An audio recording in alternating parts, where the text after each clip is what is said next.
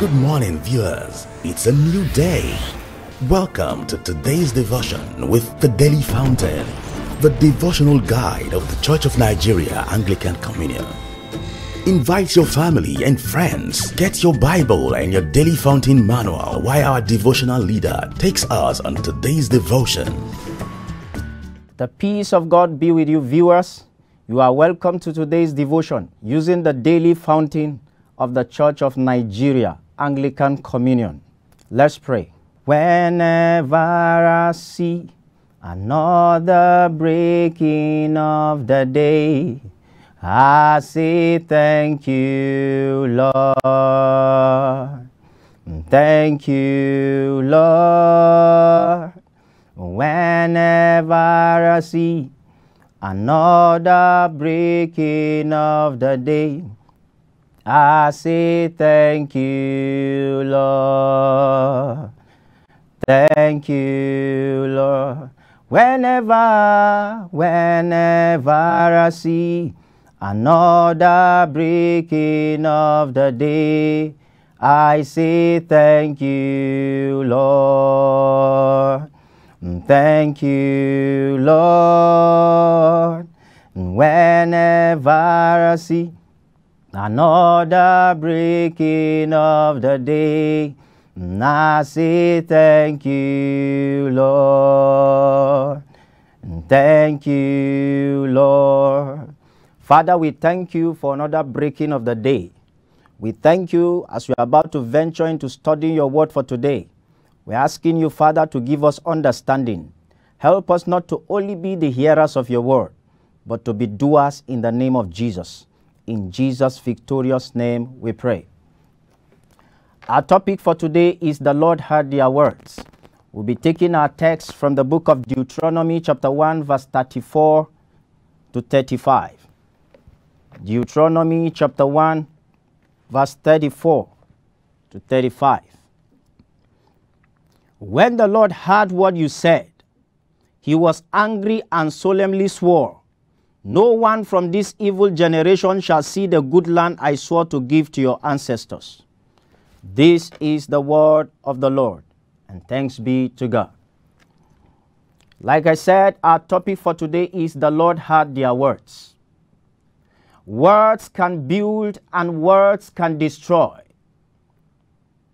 Words can kill and words can make alive. Jesus said in John chapter 6, verse 63, He said, The words that I speak to you, they are life and they are spirit. In other words, words have the capacity to give you life. Words have the capacity to kill. In the scripture where we read today, before then, when you read the book of Deuteronomy, chapter 1, verse 27, the Bible said the children of Israel murmured against the Lord. They complained that God brought them out from Egypt in order to deliver them to the Amorites to be destroyed. And these were the same people that God brought them out from Egypt. These were the same people that God parted the Red Sea for. But at this point, they were complaining, they were murmuring, they were speaking negative words, words of unbelief, words of complaint to the Almighty God. The Bible said, as they complained, in verse 34, the Lord heard their words and he was angry. God became angry because of their complaint. God became angry because of their negative words, because of their words of unbelief. And hear what he said to them Not one of these men of this evil generation shall see the good land that I swore to give to their fathers. This was what God said to them. Initially, this was not what was supposed to happen to them. They were supposed to go into the promised land. At this point, they complained against the Lord. In the wilderness, God caused some of them, many of them died in the wilderness because of the negative words, because of the words of unbelief that they spoke against the Lord. Child of God, which words does God hear coming out from your mouth? Which word does God hear you speak? Proverbs chapter 18, verse 21. He said, The power of life and death lies in the tongue. So, child of God, be mindful of the words you speak. Be mindful of the words that proceed out from your mouth because those words have the capacity to kill, because those words have the capacity to give life. Some of us are very good in gossiping other people. Perhaps uh, maybe as a pastor, you always like gossiping other pastors. As a member, you always like gossiping pastors. As a pastor, you always like gossiping members. To a point, some people have become chief executive officer in gossiping other people. Maybe a particular pastor is doing well. You go to your bishop, you report that pastor to your bishop for no reason, and that pastor is not at fault. Just because you just want to cripple the pastor's destiny. Some of us are very good in gossip. Nothing good comes out from our mouth. All the words that proceed from us are always negative. As a child of God, when you make yourself a CEO of gossiping other people, can I tell you, God becomes your number one enemy. God hates people who involves in gossiping other people. God hates people who are always negative in their utterance. God likes people who are positive in their utterance. You don't know that gossip can break a relationship. Gossip can break a family. Gossip can break marriage. Gossip can break a nation. Gossip can break a church. So, whenever you begin to gossip a particular person, a particular organization, you are number one enemy of God because God hates people who gossip. And people who have negative utterance, God is not happy with you. You will hear people saying that this my headache. You will hear some saying, this my ulcer. You will hear some saying, This my cancer. You will hear others saying, This my diabetes. So, child of God, can I tell you, as you begin to personalize those sicknesses into your body, God as well will permanent it. As a matter of fact, hear what the Bible says in the book of Numbers, chapter 14, verse 28. It says, Say to them, As I live, says the Lord, just as you have spoken in my hearing, so I will do to you. So, whenever you begin to say, My cancer, Whenever you begin to say my HIV, whenever you begin to say my diabetes, whenever you begin to say my ulcer, the Bible says God will act according to what you have spoken. He will permanent it in your life. But I decree and I pray for someone here today. That will never be your testimony and your portion in the name of Jesus. So, whenever you are confronted with challenges, why not focus on the promise of God? Why not confess the appropriate scriptures that connect to your challenges? Why not speak those scriptures? Perhaps you are having a health challenge. Can't you just lift up your voice and say to God, It is written in your word, by your stripes I am healed. If you are having a, a, a, health challenge, why can't you just lift up your voice to God and remind God of His words? You send forth your word, and your word healed them from their infirmities. These are the utterances that God is expecting you to be speaking concerning your situation. Some people, they always confess negatively. If you read your Bible in the book of Job, chapter 22, verse 28 and 29, it says, Thou shalt decree a thing, and it shall be established unto you, and the light of God will shine upon your ways. He said, When many are saying there is a casting down, for you, you shall say there is a lifting up. In other words, when people are talking about negativity, as a child of God, you are expected to talk positivity. When people are talking about retrogression, as a child of God, you are expected to talk about progression. When people are talking about impossibility, as a child of God, you are expected to talk about possibility. No matter the situation you are passing through, you don't allow the situation to weigh you down. You don't allow the situation to make you sin against God, to make negative, to say negative things against God. Rather, you remind God of His promises concerning you. It doesn't matter the headsmen attack in the church in Nigeria. It doesn't matter the, the attack going on in the church across the globe. The Bible says, Jesus said to Peter, I will build my church and the gate of hell will not prevail.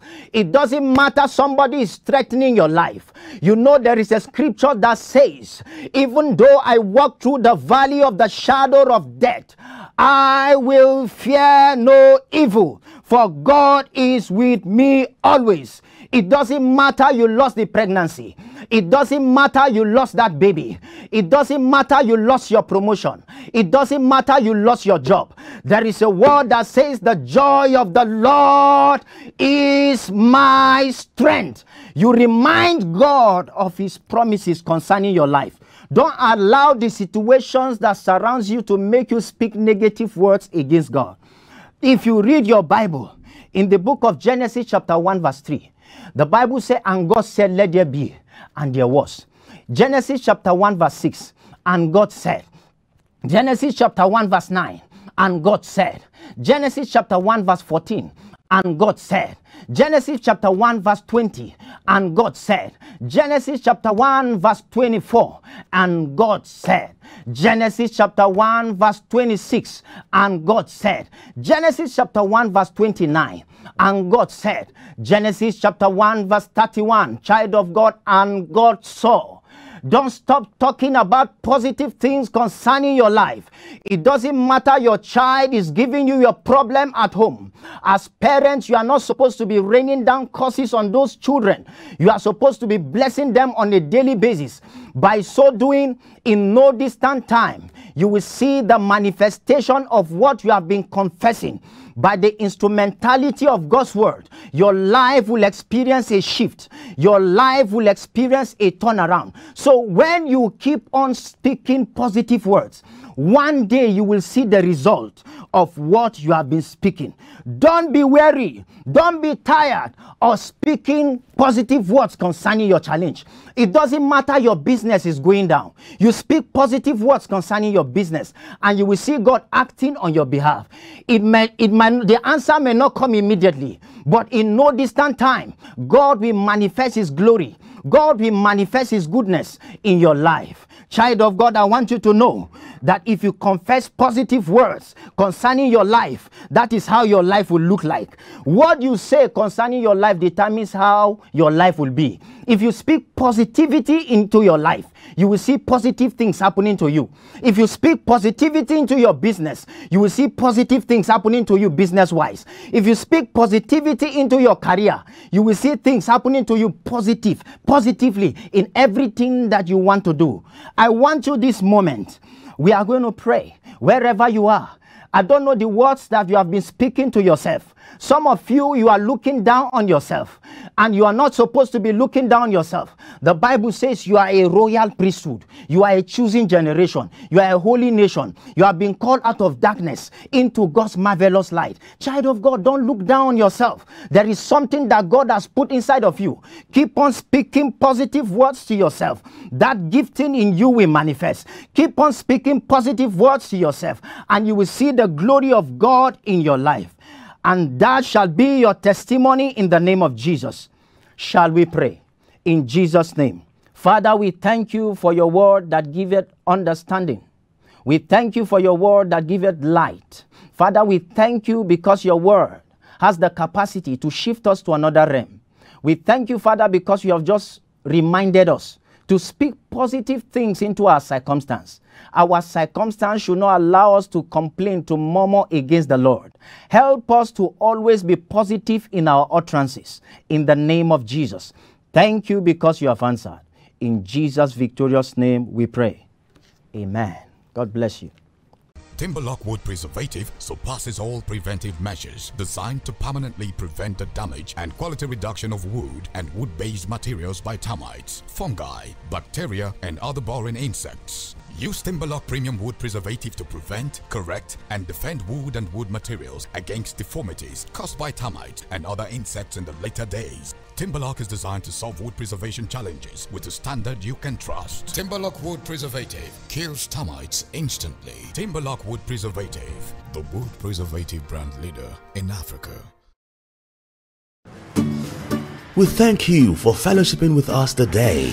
We invite you to join us tomorrow morning, same time, same station, for another special edition of the Daily Fountain.